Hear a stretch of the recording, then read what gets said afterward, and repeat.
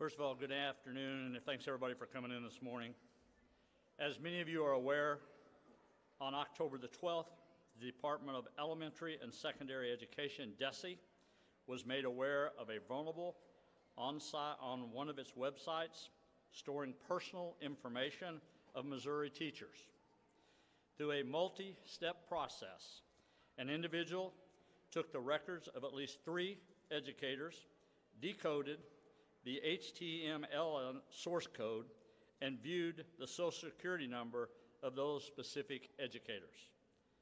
Upon receiving this notice, DESE immediately contacted the Missouri Office of Administration, ITSD, who programs and maintains the web application to remove public access to the portal and to update the code.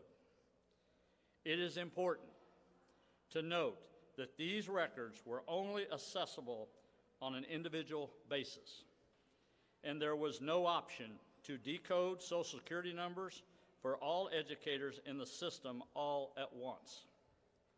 We are working to identify the teachers whose information was compromised and any others that may have been compromised. We also do not know why this individual seeking to access, convert, and take personal information from Missouri teachers. But let me be clear this administration is standing up against any and all perpetrators who attempt to steal personal information and harm Missourians. It is unlawful to access encoded data and systems in order to examine other people's personal information. And we are coordinating state resources to respond and utilize all legal methods available. My administration has notified the Cole County prosecutor of this matter. The Missouri State Highway Patrol's Digital Forensic Unit will also be conducting an investigation of all of those involved. This incident alone may cost Missouri taxpayers as much as $50 million and divert workers and resources from other state agencies. This matter is a serious matter.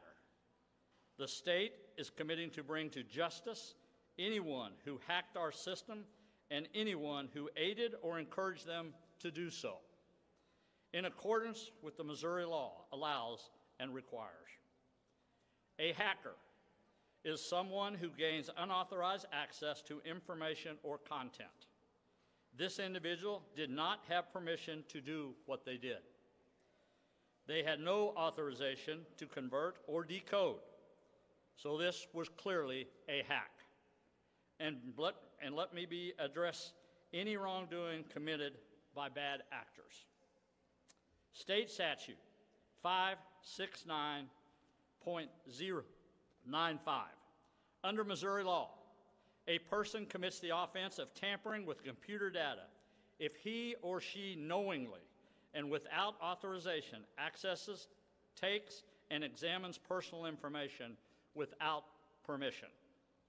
This data was not freely available and had to be converted and decoded in order to be revealed. State statute also allows us to bring civil suit to recover damages against all those involved. Nothing on DESE's website gave permission or authorization for this individual to access teacher data. This individual is not a victim. They were acting against a state agency to compromise teachers' personal information in an attempt to embarrass the state and sell headlines for their news outlet. We will not let this crime against Missouri teachers go unpunished. And we refuse to let them be a pawn in the news outlet's political vendetta. Not only are we going to hold this individual accountable, but we will also be holding accountability all those who aided this individual and the media corporation that employs them. The state does not take this matter lightly, and we are going we are working to strengthen our security to prevent this incident from happening again. The state is owning its part, and we are addressing areas in which we need to do better than we have done before. And we will not rest until we clearly understand the intentions of this individual and why they were targeting Missouri teachers. What they did is beyond unethical. We apologize to the hardworking Missouri teachers who now have to wonder if these personal information was compromised for political, for pathetic political gain by what is supposed to be one of Missouri's news outlets. We value our teachers, and it is unfortunate that they have been put in the middle of this. But rest assured, we will not stop until we get them the assistance, till we get them the assistance they need, ensure their information is secure, and get justice by holding those responsible and accountable. Thank you very much.